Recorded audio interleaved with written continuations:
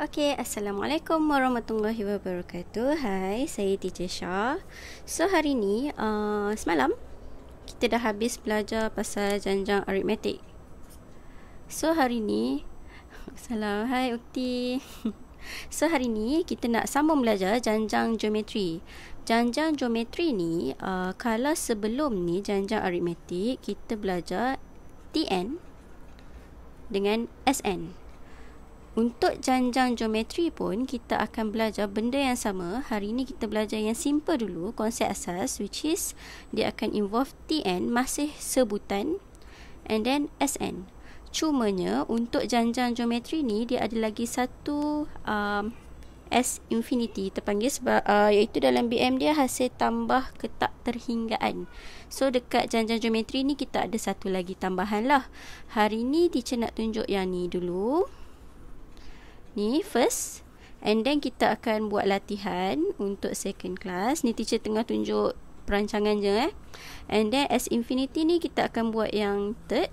Dan lepas tu baru latihan untuk hasil tambah ketak terhinggaan Okay, so lagi empat video kita habislah untuk tajuk ni. Hari ni kita belajar yang first ni dulu iaitu konsep asas bagi janjang geometri.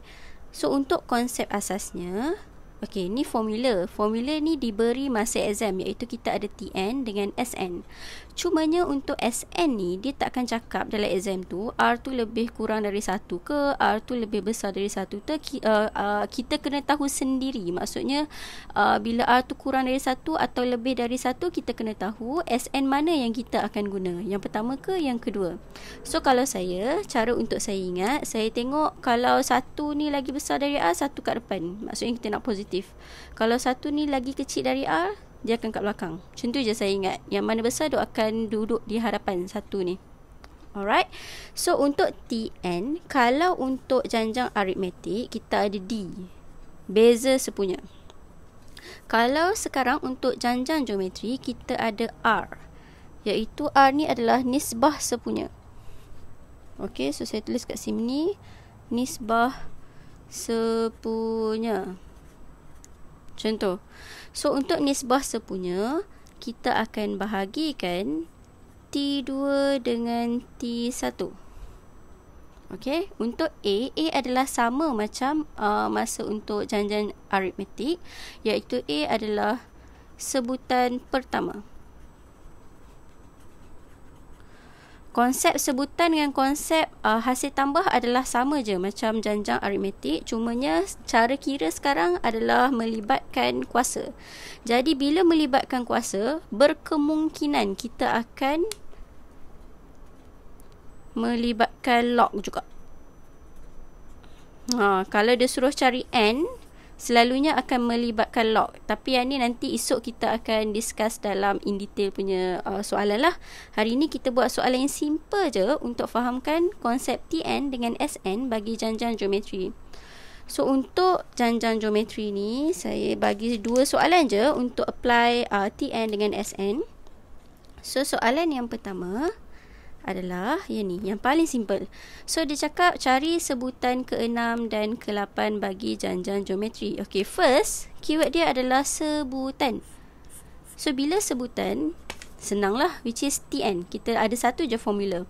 So TN bersamaan A R N tolak 1 make sure you punya Bodmer's rule betul. Maksudnya algebra kena betul. Kita akan buat kuasa dulu. Jangan A darab R eh. Sebab ada student yang salah kat situ. Okay. So kat sini, first thing kita identify dulu. Nyatakan dulu A dia apa? A dia 16. R dia apa? R dia adalah sebutan kedua. T2 which is T2 bahagi T1.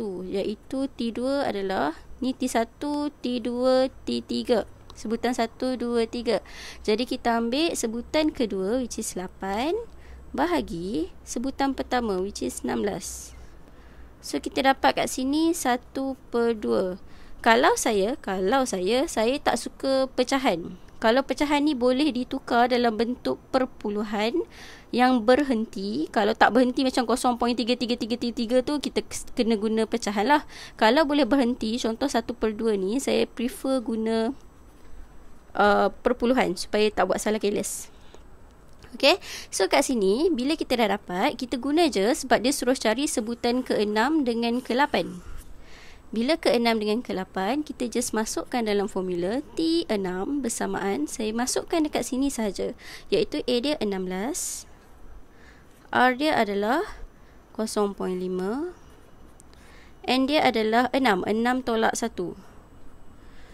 Okey, kesalahan pelajar. kalau atas ni tak diberi N ni, dia pi darab 16 dengan 0.5. Salah eh sebab itu salah algebra. Dia salah buat mesrul. Kita kena buat yang kuasa dulu. Okey. So kat sini dah ada kuasa, kita just tekan kalkulator je lah which is kat sini 16 0.5 kuasa 5. So akan dapat ting 0.5 kuasa 5. So kat sini dapat ni Saya darab terus eh Darab 16 So kat sini kita akan dapat jawapan dia 1 per 2 Saya tekan terus eh kalkulator And then T8 Sama juga. Bersamaan A 16 0.5 R dia. So saya ambil terus 8 tolak 1 So kat sini dapat 7 So tekan kalkulator lagi. 0.5 Kuasa 7 So darab dengan 16 Dapat 1 per 8 Okay so ni jawapan dia. Ni untuk contoh TN yang paling simple. Dan sekarang saya masuk untuk SN Okay SN Tengok ah, ayat dia. Dia kata cari hasil tambah. So bila nampak hasil tambah Mesti kita akan guna SN So SN bagi 10 sebutan pertama. Janjian geometri dia dah bagi. Jadi untuk 10 sebutan pertama adalah S10 lah.